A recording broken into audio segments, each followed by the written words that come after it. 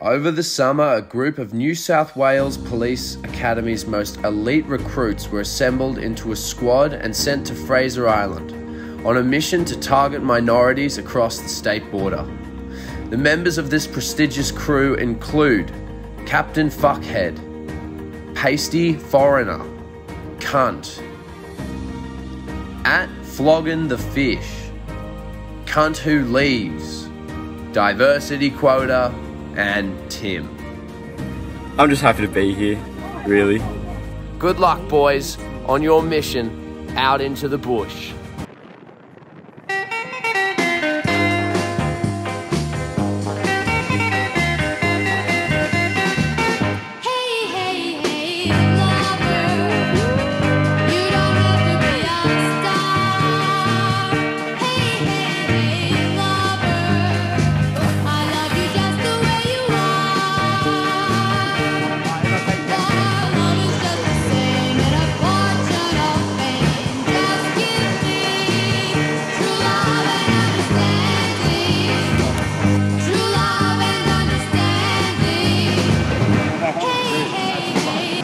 Fuck, man, it's so good. It's finally holiday time. You know, we've just been spending so much money and not even broing out, really. We even had a fight one night. Yeah, that was a bit of a kerfuffle. Alright, I'll admit it. That was a bit of a kerfuffle the other day when we were trying to fucking go to an Airbnb and fucking. We are all just a bit fucked, to be honest with you. We are all a bit loose and whatnot, and we tried to put in the code and we couldn't fucking figure it out to kill LA. we couldn't do it. And then, um, fuck, Josh and Howard just started fucking. Nah, nah, nah.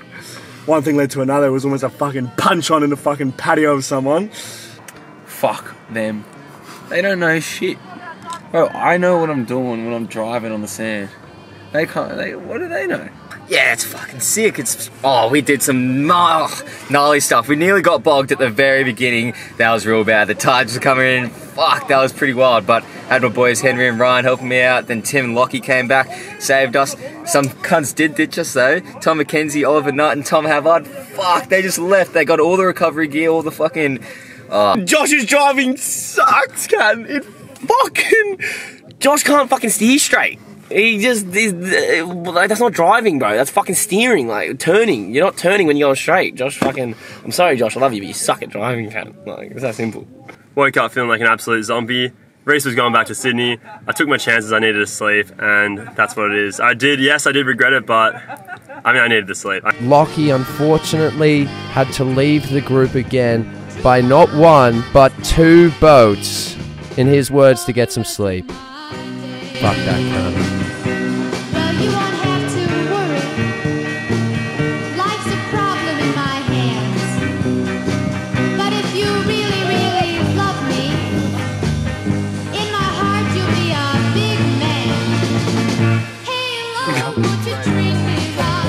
And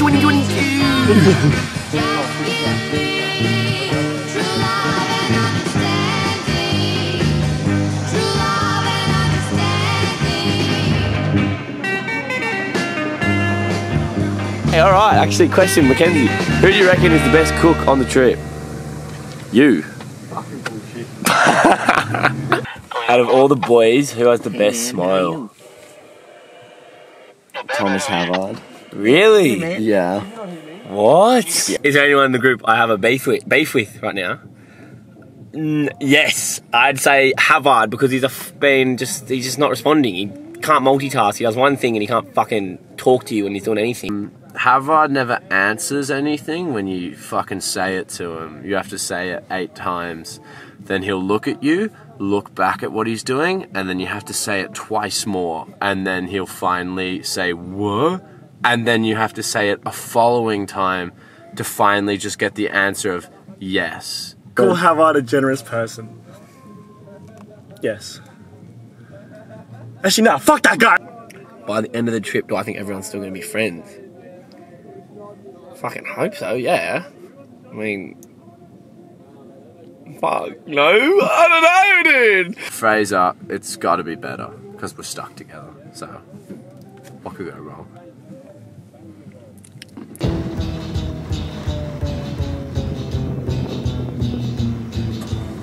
Fuck, bro, it's Trot City. Gotta get around these lats, bro. I'm running out of sunscreen getting around these things.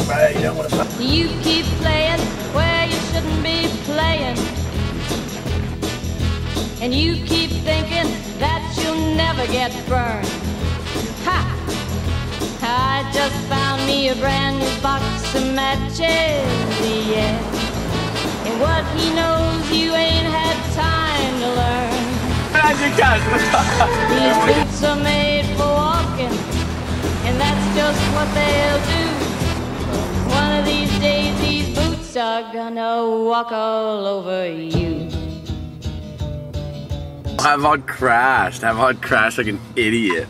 Oh, what happened? What happened? What happened? What a fucking donut. A silly mistake like that, you're a fuckwit. Everyone else was just fucking looking, and I was just driving. So how could it be my fault? Did you see him? He fucking came up, reversed over, and then there was like these two divots that went down to like come in, and the sandbanks are here, and he just fucking popped his car down inside the sandbanks. Fuck. Silly cunt. Silly cunt. Mate, it was so funny. Havard had so much egg on his face today. He was literally like, he looked like a bridge between like two sand dunes that was there for literally no reason. I don't know how he got so stuck. He was the most stuck I've ever seen a car. And the boys had to save him, obviously. We fucking shoved his car up the hill. He wasn't even driving, the wheels weren't turning. We just fucking pushed it up. It's the power of the boys without Havard. Fucking hell. I have to carry the. My shoulders are fucking sore. See, the drops down on either side. They're, meant, they're, they're here right now. They're meant to be up here. Fucking hell. Carrying these cunts on my fucking shoulders. They get breakfast. They get dinner. Lunch. Fucking in the fridge. Lights on. What do you want to be stuck in the fucking dark? What the fuck? You keep lying when you ought to be truthing. And you keep losing when you ought to not bet. You keep saying when you ought to be a changing. Why don't you put the fucking camera down and actually do some hard work for once, cunt? You useless fucking dickhead. These boots are made for walking, and that's just what they'll do. One of these days, It was then that boots are Bailmaster Lockie arrived via. Dingo with vapes in tow. Hopefully, nothing else goes wrong for the fresh cadets, as they have had a tragic drop in ketamine supplies. It's all gone. Get there, and I'm like, I'm not giving anyone a vape till fucking I get my money. Get there, and the fucking these vultures are just, give me my vape, give me my vape, give me my vape. Do you really want to bring that up with me? Because I'm one of those, one of those, you know what I mean? Oh, I want to kill Lucky. I want to fucking kill him. we waited a whole fucking week for a vape. Comes up, so no Nick, and then we're all fucking begging Josh for a vape. And I'm like, fuck's sake. So I give them all their vapes. I get a bit of money off Ryan, a bit of money off Ollie, and then Mackenzie doesn't even fucking pay me, and then has the fucking audacity the next day to fucking when there's reception to be like, nah, nah, there's no like, we'll pay you the ne- I'll pay you tomorrow, and I'm like, mate, I'm down 180, just fucking pay up. Ah, fuck, if I had the chance to fucking leave Lockie on the island, I would. Honestly, my thoughts on it are they do have nicotine in them. They're fucking Gunnpods. They're pretty weak, but I'm pretty certain they have nic- The nicotine and non nicotine vape situation is fucked. We have waited since we ran out of vapes on the third day of being on camping. We waited five days going, okay, well, fuck, Lockie and Tim are going to come back down. We can get them to bring us vapes down. They get vapes from the Gold Coast, $45 per vape, and then we get them, and I'm hitting it, I'm going, oh, this is sweet, this is sweet. After an hour, I'm going, this is not fucking nicotine. And it wasn't nicotine. I've told everyone that and no one believed me, and now everyone's just like starting to clock it. I'm trying to do the boys a favor, and I get fucking outcasted for it. It's like fucking hell, boys. Like, what do you want me to travel down to fucking Sydney again and fucking go grab you some fucking IGETs? Like, what the fuck is this? I'm, I'm in Gold Coast trying to fucking figure out where to get a vape, and I bring back some goods, and the boys are fucking complaining. Like, just fucking cop it on the chin and relax. You know what I mean? It's just one of those things, you know. I just have to find the fucking scraps from my fucking campsite that I've been hiding from everyone. Okay, so the vape situation with the nicotine no nicotine thing has been a real toss up. Because sometimes I feel like I, I get it, like I hit it, I hit it, and I get it. But then I think to myself, is that maybe just because I held it so long and I was just holding my breath so long that I was then depleting my oxy- like brain of oxygen? I sit on the side that is no Nick. I'm not satisfied. I'm never satisfied. I don't give a shit, bro. Fucking just stop smoking. It's not good for your lungs. What does it do for you? Honestly, nothing. At this tense point in the journey of our young recruits, Josh is the only man left with a vape. Tensions could not be higher. I guess you could say things are getting intense in the tents. Ahaha.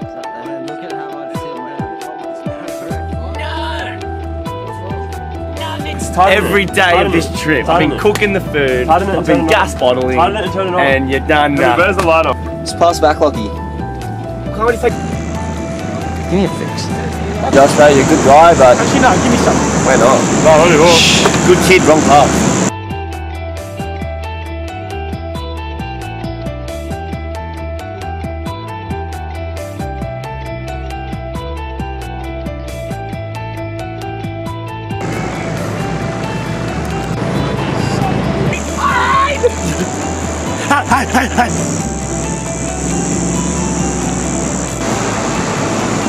Sorry, Josh. I'm a good kid, just the wrong path. Ollie and Mackenzie have been fucking hogging my vape, so I'm a bit ticked off about that as well.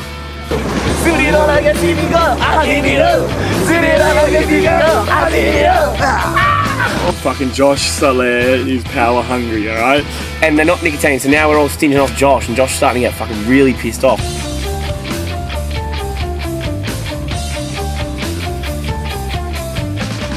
It was just a crown on top of his head, you know what I mean? Like he just fucking started getting so ego about it, like just wait for me, and then everyone was so Josh, it's his vape, we all understood that, but he had a system where if you did something bad or you crossed him or whatever, he would ban you from using the vape for about two hours, six hours, or even a day. Am I planning on getting any revenge? Maybe.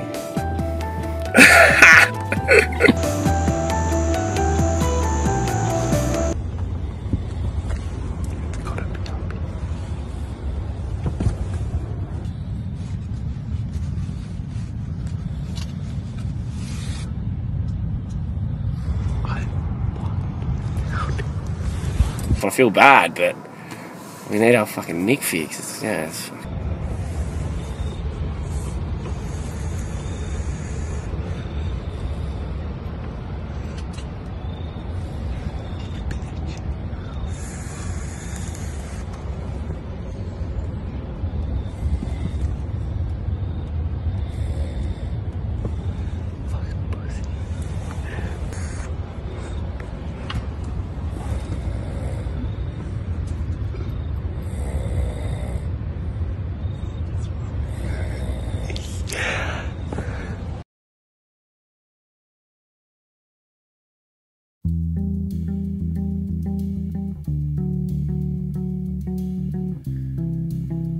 The recruits were falling apart.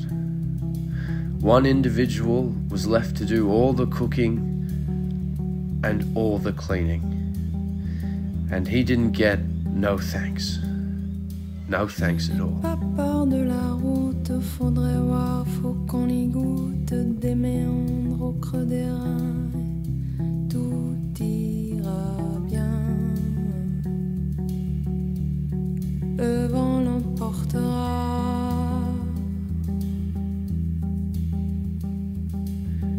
Even the strongest members were starting to waver. As they fell apart one by one, turning on each other, it seemed only one being could pull them from this pit of despair. Who could that be? There was no hope, no end in sight. The boys, full of despair, it seemed the camping had gone awry. Only the Ket monster could sniff out the boys' lost Ket. Yet, he was nowhere to be found.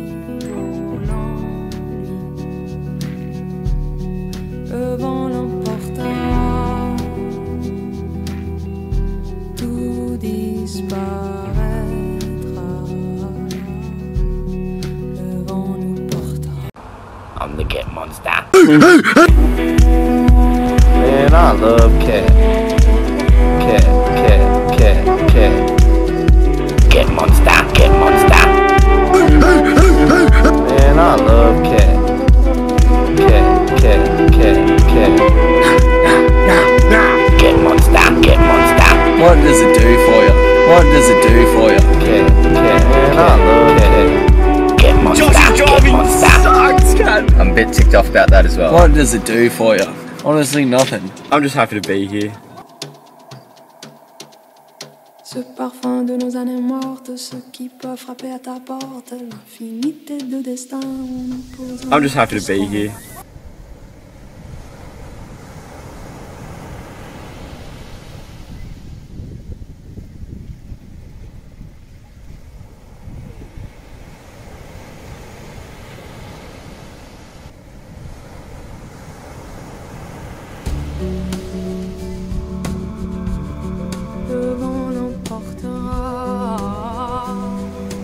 Then our finest recruits did ketamine until the sunrise and joined together once again as a true squadron, ready to tackle Sydney's most ethnic minorities.